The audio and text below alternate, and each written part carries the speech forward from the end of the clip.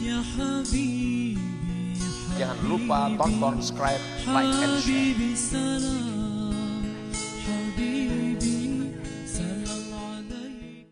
بسم الله الرحمن الرحيم. السلام عليكم ورحمة الله وبركاته. الحمد لله الحمد لله نحمد ونستعين ونستغفره ونعوذ بالله من شرور أنفسنا ومن سيئات أعمالنا. من يهد الله فلا مضل له ومن يضلل فلا هادي له. وأشهد أن لا إله إلا الله وحده لا شريك له. وأشهد أن سيدنا محمدا عبده ورسوله. سبحانك لا علم لنا إلا ما علمتنا إنك أنت العليم الحكيم. رب اشرح لي صدري ويسر لي أمري واحلل عقدة من لساني يفقه قولي. اللهم علمنا ما ينفعنا وانفعنا بما علمتنا وزدنا علما. اللهم عارنا الحق حقا وارزقنا اتباعه. وارنا الباطل باطلا وارزقنا اجتنابه. واجعلنا ممن يستمعون القول فيتبعون أحسنه. وادخلنا برحمتك في عبادك الصالحين. amin amma ba'd Alhamdulillah segala puji dan syukur kita panjatkan ke hadirat Allah. Subhanahu wa taala dan juga salawat dan salam atas junjungan kita Nabi besar Muhammad sallallahu alaihi wasallam yang kita muliakan para habaib min sulalatin nabawiyah yang kita muliakan para ulama min wirasatin nabawiyah yang kita muliakan para tokoh masyarakat para pejabat dan yang lebih khusus yang kita muliakan mudirul mahad akhina fillah walillah al ustad Ali Bustami al Karibani kita doakan mudah-mudahan beliau selalu dipanjangkan umur disehatkan zahir dan batinnya dan dimudahkan segala urusannya baik urusan dunia maupun akhirat. Dan izinkanlah ulun dalam kesempatan ini membacakan sedikit daripada manakib murabbi arwahina wa jasadina Sayyidil Walid Abu Yal Habib Hasan bin Ahmad Baharun pendiri Pondok Pesantren Darul Gawad Dakwah Bangil Pasuruan Jawa Timur. Yang beliau adalah guru kami di Bangil di Pasuruan Jawa Timur. Al Ustadz Hasan Baharun atau Abuya Hasan Baharun adalah orang pertama yang membuka kembali hubungan antara Yaman dan Indonesia. Setelah terputus puluhan tahun lamanya dan beliau yang mulai mengirimkan santrinya untuk belajar di Yaman. Sehingga semua pahala orang yang belajar ke Yaman saat ini akan kembali pahalanya kepada Al-Alim Al-Allamah Ad-Da'i ilallah Al-Habib Al-Ustadz Hasan Baharun. Demikian penuturan Habib Umar bin Hafid pengasuh pengasuh pondok pesantren atau ribat dari Mustafa di Tarim di depan para santri dan ulama dalam ziarahnya di pondok pesantren Darul Gawad Dakwah dua tahun setelah wafatnya Habib Hasan Baharun. Al Habib Hasan Baharun lahir di Sumeneb, Madura pada tanggal 11 Juni 1934 dan merupakan putra pertama dari empat bersaudara dari Al-Habib Ahmad bin Husin Baharun dengan Fatmah binti Ahmad Bakhabazi. Adalah silsilah zahabiyah yang mulia silsilah emas yang mulia dari beliau adalah Al-Habib Hasan bin Ahmad bin Husin bin Tahir bin Umar bin Harun. Sejak kecil kedisiplinan dan kesederhanaan telah ditanamkan oleh kedua orang tua beliau sehingga mengantarkannya tumbuh menjadi sosok pribadi yang mempunyai akhlak dan sifat terpuji. Pendidikan agama selain diperoleh dari bimbingan kedua orang tuanya juga didapatkan dari madrasah Makarimul Akhlak Sumeneb dan dari kakeknya yang dikenal sebagai ulama besar dan disegani di Kabupaten Sumeneb yaitu Ustadz Ahmad bin Muhammad Bakhabazi. Setelah kakeknya meninggal dunia, beliau menimba ilmu agama daripada paman-pamannya sendiri, yaitu Ustadz Usman bin Ahmad Bakhabazi dan Ustadz Umar bin Ahmad Bakhabazi. Semangat belajar Ustadz Hasan Baharun sejak kecil memang dikenal rajin dan oleh bahkan apabila bulan Ramadan tiba beliau belajar semalam suntuk Mul- mulai sehabis tadarus Al-Quran sampai menjelang subuh Beliau belajar dan mendalami ilmu-ilmu agama khususnya ilmu fikih serta menjadi murid kesayangan Al-Faqih Al-Habib Umar Ba'agil Surabaya. Di samping pendidikan agama, beliau juga menuntut pendidikan ilmu umum mulai dari sekolah rakyat SR atau setingkat SD sekarang, pendidikan guru agama PGA 6 tahun dan hanya sampai di kelas 4 karena pindah dan melanjutkan ke Semea di Surabaya. Perjalanan dan konsep dakwah Ustadz Hasan Baharun setelah menamatkan sekolah, beliau sering mengikuti ayahnya ke Masa Lembu, Pulau Masa Lembu, untuk berdakwah sambil membawa barang dagangan. Keluarga Ustadz Hasan pada saat itu dikenal ramah dan ringan tangan. Apabila ada orang yang tidak mampu membayar hutangnya, disuruh membayar semampunya, bahkan dibebaskan. Jadi ketika uh, ayah beliau ke masa lembu itu berdagang, kadang-kadang ada yang tidak mampu membayar hutangnya, itu dibebaskan daripada hutangnya. Sifat-sifat inilah yang diwarisi beliau yang dikenal apabila berdagang tidak pernah membawa untung karena senantiasa membebaskan orang-orang yang tidak mampu membayarnya. Dan pada waktu berkeliling menjajakan dagangan, beliau dikenal suka membantu menyelesaikan permasalahan dan konflik yang terjadi di masyarakat. Jadi kalau di masyarakat itu ada uh, perbedaan pendapat, beliau sering menyelesaikannya. Pada tahun 1966 beliau merantau ke Pontianak dan berdakwah keluar masuk dari satu desa ke desa yang lainnya dan melewati hutan belantara yang penuh lumpur dan rawa-rawa namun dengan penuh kesabaran dan ketabahan semua itu tidak dianggapnya sebagai rintangan. Ini adalah bentuk daripada perjuangan Al-Habib Hasan Baharun. Selain berdakwah, beliau juga aktif pula di partai politik. Jadi beliau pernah terjun ke partai politik yaitu ketika beliau belum e, mendirikan pondok pesantren Darul Gawat Dakwah yaitu partai NU atau Nahdlatul Ulama dan menjadi jurkam yang dikenal berani dan tegas di dalam menyampaikan kebenaran sehingga pada saat itu sempat diperiksa dan ditahan. Namun pada saat itu masyarakat akan melakukan demonstrasi besar-besaran apabila beliau tidak segera dikeluarkan dan atas bantuan pamannya sendiri yang saat itu aktif di Partai Golkar membebaskan beliau dari tahanan. Ini adalah bentuk uh, dakwah beliau melalui uh, siasah politik. Pada tahun 1972 beliau mengajar di Pondok Pesantren Gundang Legi Malang mengembangkan bahasa Arab sehingga Pondok Gundang Legi pada saat itu terkenal maju dalam bidang bahasa Arab. Kemudian pemikiran dan konsep-konsep pendidikan Ustadz Al-Habib Hasan Baharun. Secara singkat akan kami uraikan beberapa pemikiran dan konsep-konsep pendidikan yang dapat kami tangkap dari ungkapan dan e, serta realitas yang beliau jalankan dalam mengelola lembaga pendidikan dan pondok pesantren antara lain. Ini adalah konsep pendidikan atau dakwah beliau. Yang pertama apabila seorang kiai sudah mendirikan pondok maka dia harus rela meninggalkan semua aktivitas dan hobinya yang ada di luar pondok yang dapat mengganggu konsentrasi dalam membina santrinya. Beliau mengibaratkan seorang pengasuh pondok pesantren itu sebagai induk ayam yang sedang mengerami telur. Maka apabila sering meninggalkan sarangnya kemungkinan besar telur tersebut tidak jadi menetas dan telur tersebut akan busuk. Jadi beliau itu konsentrasi dalam membina santri yang ada di pondok beliau.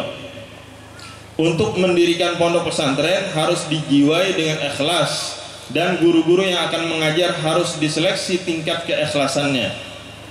Jadi dalam mengajar itu sangat ditekankan keikhlasan dalam menyampaikan ilmu.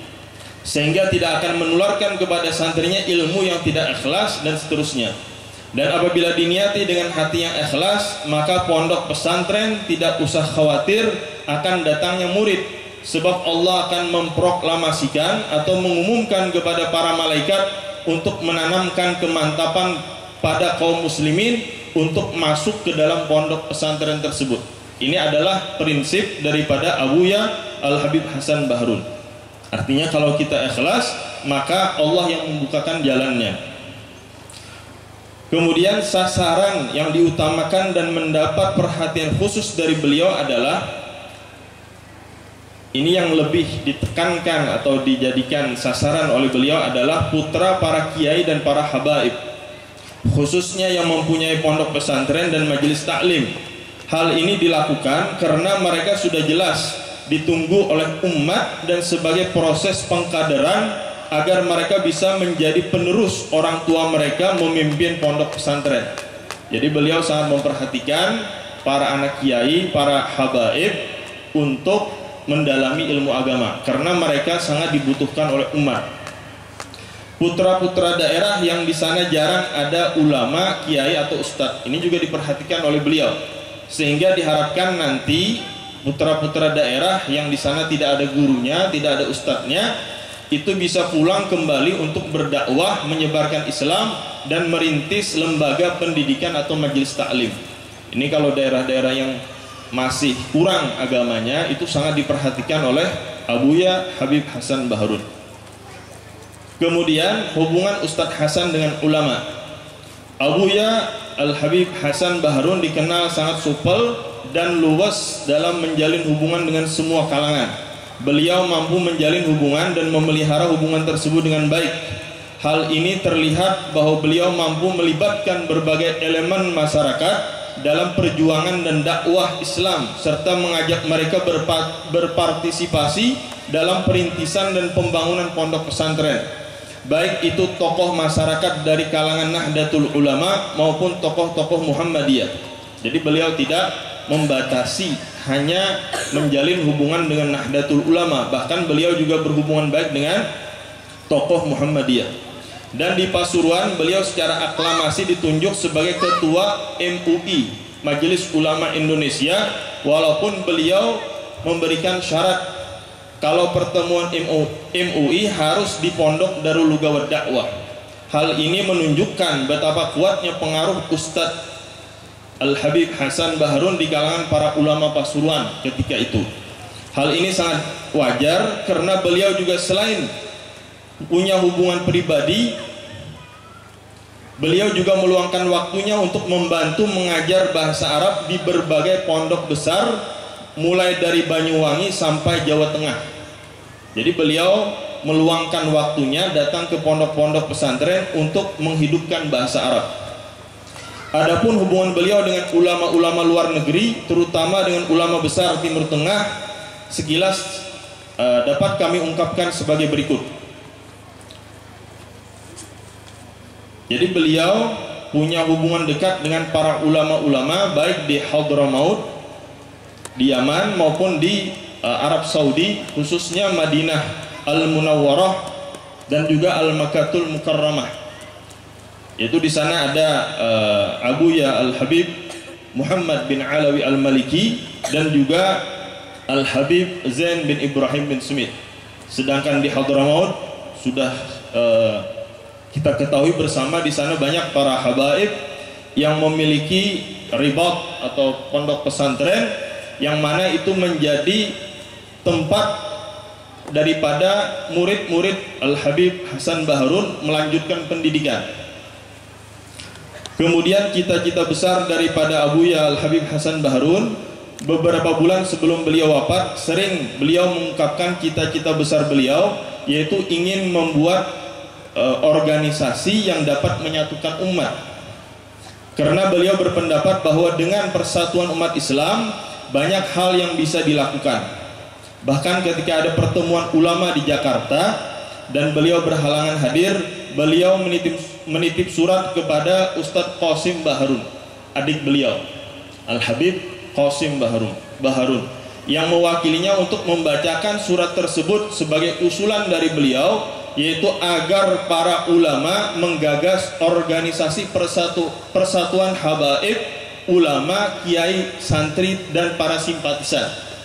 Jadi membuat organisasi persatuan habaib ulama, kiai, santri dan para simpatisan mereka dalam satu ikatan atau wadah non politik yang tidak ada hubungannya dengan politik. Tujuannya murni untuk kepentingan umat Islam.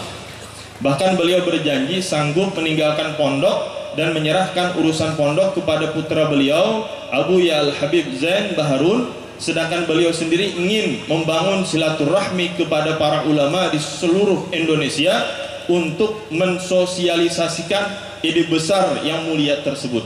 Nah, ini adalah salah satu cita-cita besar daripada Abu Ya Al Habib Hasan Baharun. Ini adalah perjuangan beliau untuk menyatukan umat Islam, khususnya yang ada di Indonesia. Sifat-sifat dan kisah-kisah keteladanan Abu Ya Ustadz Hasan Baharun, beberapa sifat yang menonjol Ustadz Hasan yang sudah sangat ma'ruf di kalangan, di kalangan santri, guru-guru, kalangan para habaib dan masyarakat yang sering berkomunikasi dengan beliau. Beliau adalah seorang figur ulama sebagai pewaris Nabi.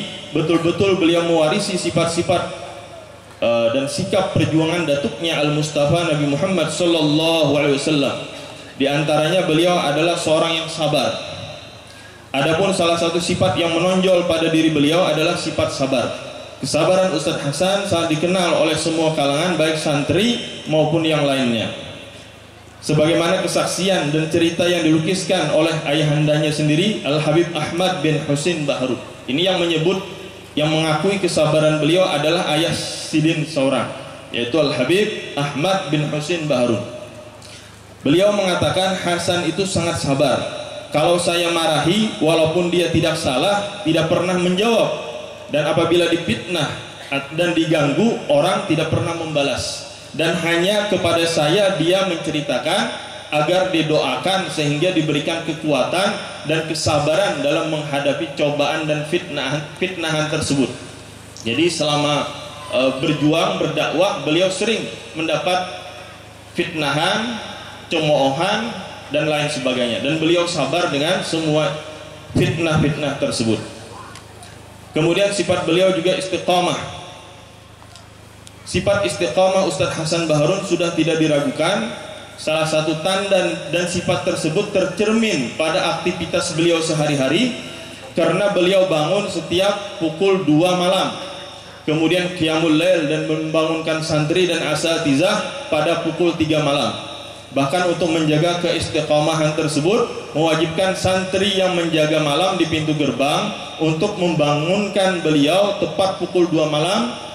Uh, suatu ketika ini diceritakan suatu ketika ketika beliau dari Mekah namun masih mampir di Jakarta karena masih ada urusan yang harus diselesaikan dan bermalam di salah satu rumah wali santri di Bekasi dan tampak tanda-tanda bahwa beliau dalam keadaan sangat lelah. Maka untuk menjaga agar beliau tidak terlambat bangun beliau berpesan kepada Haji Yusuf wali santri untuk membangunkan beliau pada pukul 2 pada pukul 2 malam. Dan juga menelpon ke santri yang menjaga maktab di pondok. Jadi beliau ada di Jakarta tapi juga menelpon santrinya yang ada di pondok agar mengingatkan Haji Yusuf supaya membangunkan beliau tepat pukul 2 malam dan tidak cukup itu saja beliau masih memberitahu ke pos jaga agar juga mengingatkan Haji Yusuf sebelum jam 2 untuk membangunkan Ustadz Hasan Nah ini adalah bentuk daripada istiqamah beliau. Ketika beliau sudah membiasakan diri bangun jam 2 malam, maka walaupun beliau dalam keadaan lelah, dalam keadaan letih, beliau tetap minta dibangunkan jam 2 malam. Kemudian juga disebutkan di antara sifat beliau adalah beliau orang yang sangat tawadhu.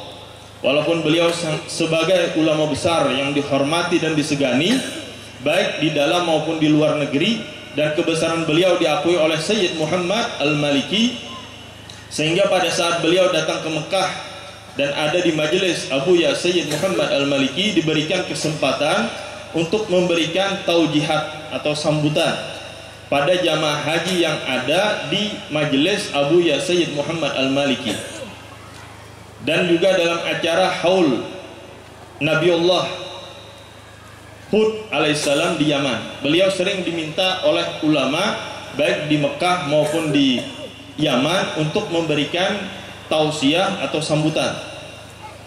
Tetapi pada kunjungan terakhir beliau eh, tetapi beliau pada umumnya menolak pada umumnya menolak memberikan sambutan tersebut sebagai sikap tawadhu, sebagai sikap eh, merendah diri daripada Abu Ya Al Habib Hasan Baharun.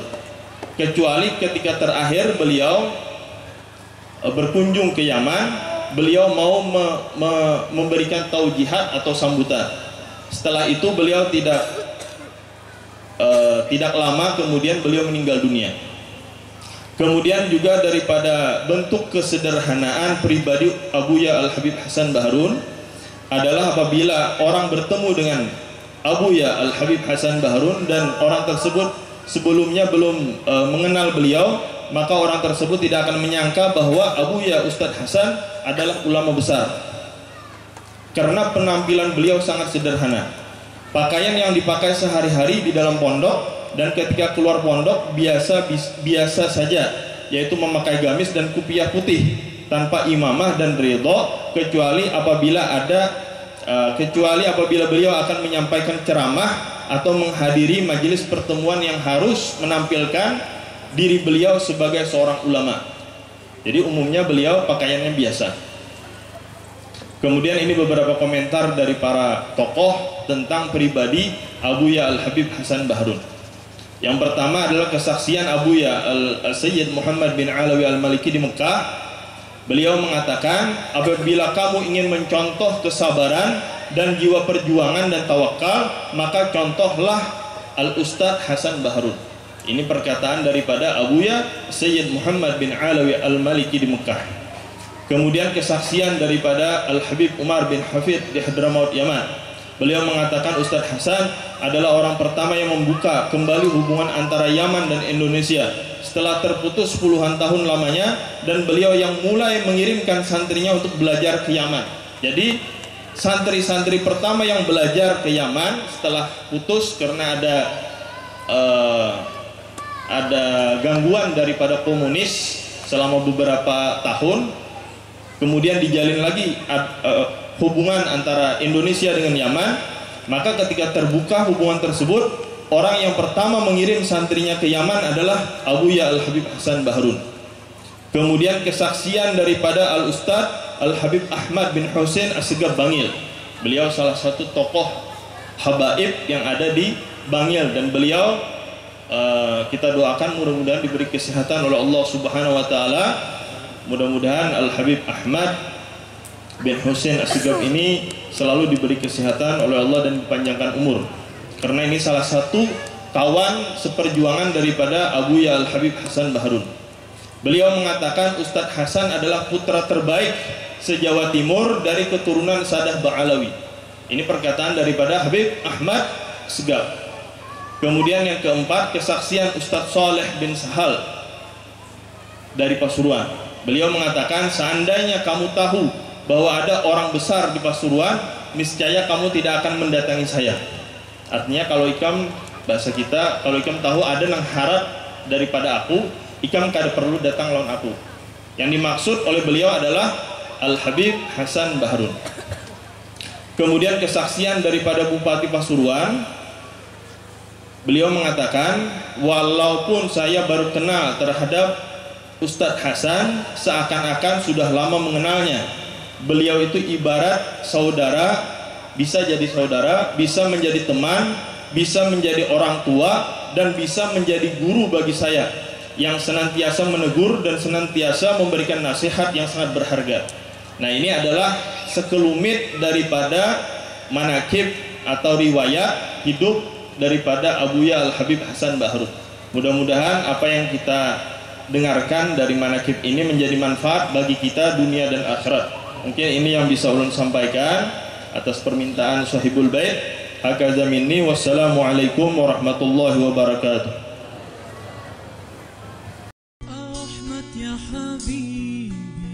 Jangan lupa tonton, subscribe, like, and share.